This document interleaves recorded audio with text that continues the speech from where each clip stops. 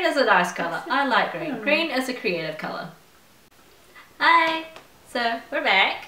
And, if you've got forgotten, I'm Maria. I'm Ashleigh. And we're a couple of the book reviewers. And today we're going to do a Teen Tuesday. So we've chosen to do Jinx by Meg Cabot. Cheers! Here, here. And turns out Ashleigh and I both had the same book. So, we didn't, I didn't actually have to bring mine to film here today. This is awkward because I can't get it out. Yeah. Yeah, so this, Ignore that. we like to kill the Lego people. See look, same book. Same, same exact book, same exact book. Same, Same sun damage. Same sun damage, same spine, Spine damage. spine damage. Yeah, same, same.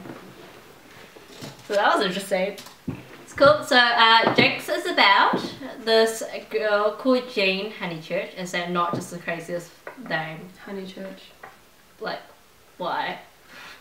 Um, but everybody calls her Jinx because she supposed supposedly has bad luck, and she's been shipped off to New York to save some relatives, auntie, uncle, and her cousin that she hasn't seen in years. And obviously, this doesn't go so well. And the entire book is this idea that there's a witch in the family, like an actual witch, actual superpowers, and could actually do spells and shit. I'm sorry, I swore again.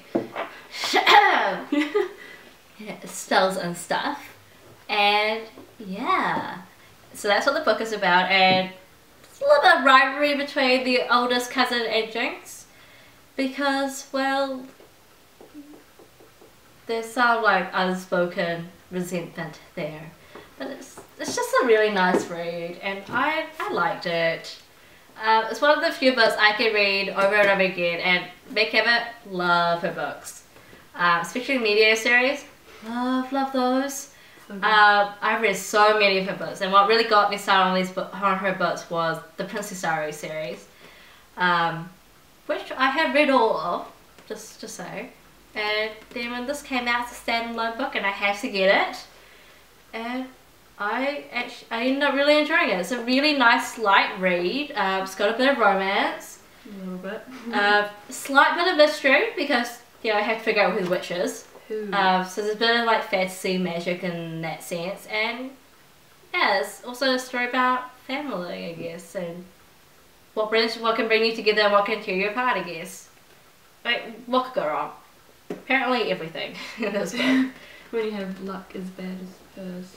Yeah, so the bad luck just kind of follows her. Um, yeah, and I hope you guys don't think we're doing a bit too spoilery about the book because kind of just giving you the basic premise of the book. We haven't gone into anything yet, and we won't because I don't want to spoil it for you guys. We want you to read it, and for it to be a surprise for you when you do read it because I really enjoy this book. And you know, writing sister, which we know goes from amazing to do not pick up. This is a good book. It's a good book. Not amazing, but above average. So it's a good book. And yeah. It's a fun read. It's a fun read and it, it was I did read it when I was about 12, maybe younger, when it first came out. But I have read it four or five times. Arguably those four or five times were probably in the first like two or three years it came out, so still pretty young. But I just have really fond memories of this book, and I just think you guys would really enjoy it. Like it's a real fun read, and yeah, it's just don't think too much to read it, which is always nice. And It's a quick read. it's a quick read. Yeah, it's a quick read. Um, not too many plot twists, and when there are there, when they are there, they're not so outrageous. You're just like, what? Yeah, they're not unbelievable. yeah, they're not the kind of plot twist that make you go, you literally just did this just to screw my head. Um, no, these plot twists actually make sense, which is which is always a good sign. So I give this book a good rating. This is good. Go read it.